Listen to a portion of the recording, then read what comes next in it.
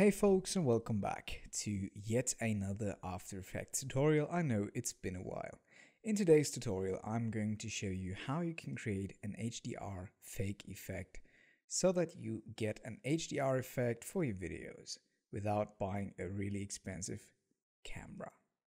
So um yeah this is what the effect will look like in the end. Um I'm just going to show you how it looks like if you don't do anything so this was like the original layer, pretty grayish and uh, yeah, a lot of dark contours are missing. So um, how you can create this high contrast effect?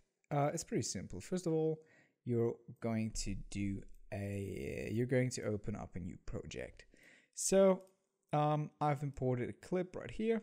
I'm just going to drag it in here and I'm going to mute this right quick. Okay, so the first thing you want to do is you want to duplicate the layer using uh, Command and D or Control D on the Windows PC. Yeah.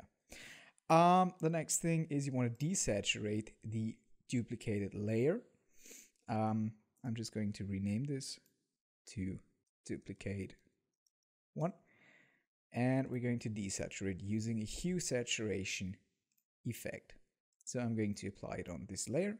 And now you are going to go down here to master saturation and bring the slider all the way to the left so that you get a black and white image. Next thing you want to do is basically going to invert it. So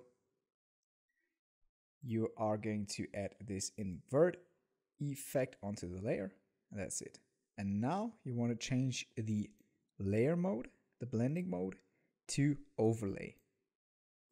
And you see, you kind of get the idea the color information gets pretty much filtered out of the original image. And now all you want to do is you want to apply Gaussian blur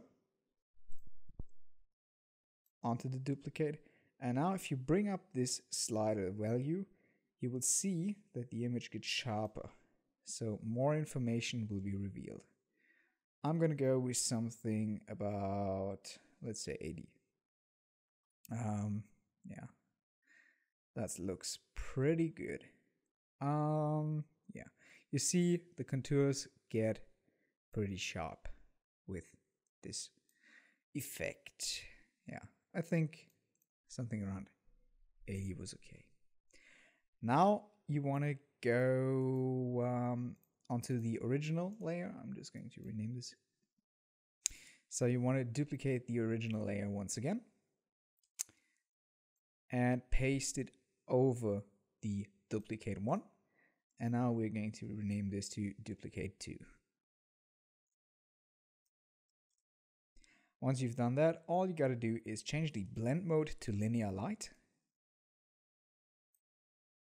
And now you're going to hit T for transparency or opacity and bring down the value to something that looks good. In my case, a high contrast for the C would be great. And there you have it. That's it. That's all you need. I'm going to let this render for a second so you get an idea of what this looks like. Maybe third. So that you get an idea of what it looks like. And um, actually, I'm just going to put these two into a composition.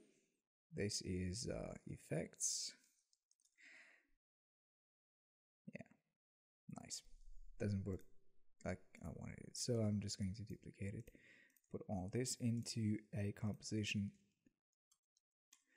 All right, so and I'm going to show you side-by-side -side comparison of what it looks like before on the left and after on the right.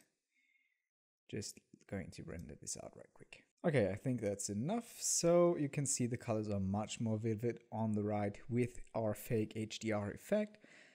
And it is a cool color correction effect to be used in your videos. That's all for today's tutorial. If you want more, then feel free to leave a like, share this video with your friends, or leave a suggestion what you would like me to do a tutorial about.